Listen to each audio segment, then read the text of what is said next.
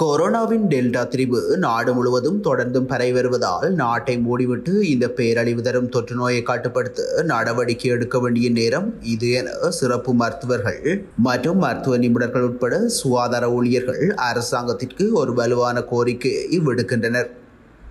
நாடு முழுவதும் நோய் தொற்றுகள் மற்றும் இறப்புகளின் எண்ணிக்கை வேகமாக அதிகரித்து வரும் நிலையில் பயண கட்டுப்பாடுகளை மட்டும் விதிப்பதன் மூலம் நோயை கட்டுப்படுத்த முடியாது.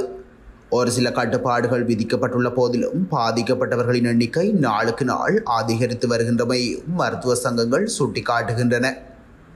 இதுவரை சிறப்பு மருத்துவர்கள் சங்கம் அரசு மருத்துவ அதிகாரிகள் மன்றம் இலங்கை மருத்துவ சங்கம் செவிலியர்கள் சங்கம் மற்றும் அரசு செவிலியர்கள் சங்கம் ஆகியவை நாட்டை உடனடியாக மூடவும் மற்றும் பரவலை கட்டுப்படுத்தவும் அரசுக்கு அழைப்பு விடுத்துள்ளன.